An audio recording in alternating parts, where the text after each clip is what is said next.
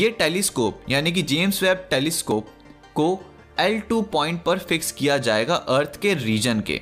L2 मतलब लेग्रेंजे two point.